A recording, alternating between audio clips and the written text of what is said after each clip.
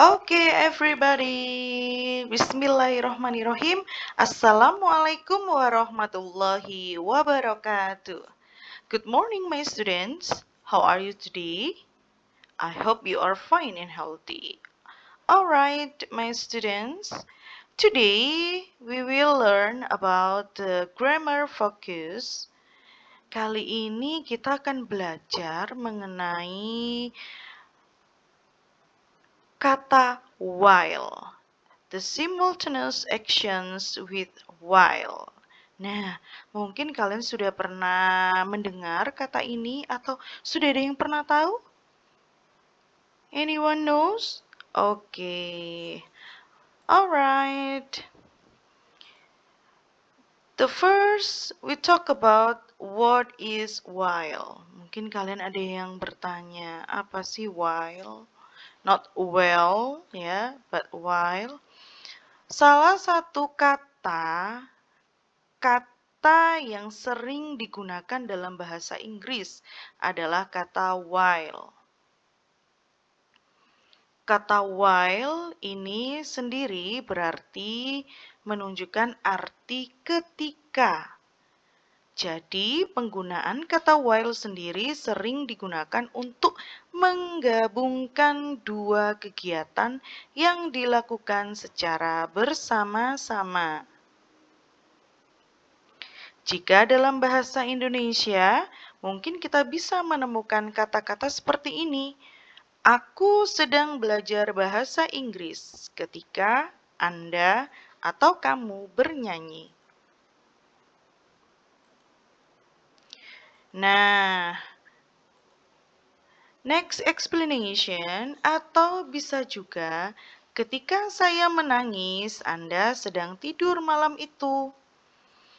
Kata ketika di kalimat tersebut kalian dapat menggabungkan dua macam kegiatan yang dilakukan secara bersamaan. Jika pada kalimat bahasa Indonesia di atas, aktivitas pertama yang dilakukan adalah saya sedang belajar bahasa Inggris. Pada contoh sebelumnya ya, kegiatan kedua adalah Anda bernyanyi. Nah, seperti contoh yang Ustazah arahkan kursor di sini, jadi kegiatan pertamanya adalah saya menangis. Kemudian kegiatan keduanya adalah Anda sedang tidur. Nah, jadi while berperan sebagai conjunction. Conjunction it means penghubung ketika melakukan sesuatu hal secara bersamaan. Now I will give you some examples in sentence. Number one, while mom was working in the garden, the cat was eating her socks. Number two, while Bob was reading, while Bob was reading, his brother was fixing the bicycle. It means Ketika ibu sedang bekerja di kebun, kucing sedang memakan kaos kakinya.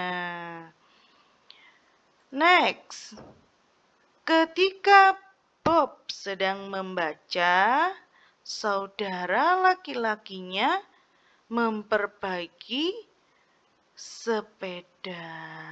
Nah, begitu ya Nana ya. Jadi ketika kita ingin menggunakan kata while, itu berarti kita bisa melakukan pada dua kegiatan sekaligus. Nah, perlu kalian ketahui juga, di sini Ustazah memberikan underline and bold ya.